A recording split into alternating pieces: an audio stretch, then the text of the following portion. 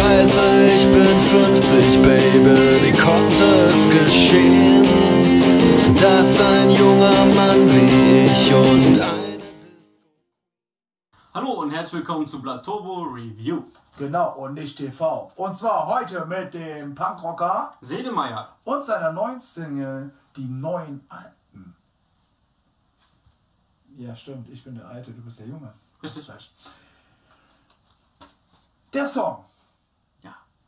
Was sagst du dazu? Er ist schön punkig. Ist schön. Er Ich mag Punk. super punkig, finde ich.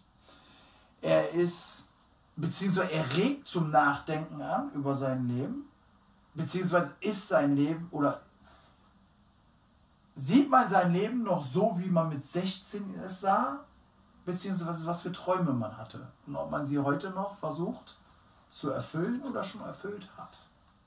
Ja, gut zusammengefasst. Denke ich auch. Erschienen ist das Ganze am 29. Januar, also vor ein paar Tagen erst. Ja, Der Link zum Song wie immer bei uns in der Beschreibung.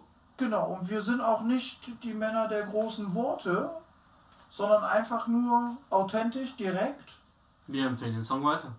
und sowas von. Also anschauen, durchhören, Meinung bilden, ihm Kommentare dalassen und uns eventuell auch noch. Genau. Und ansonsten sehen wir uns.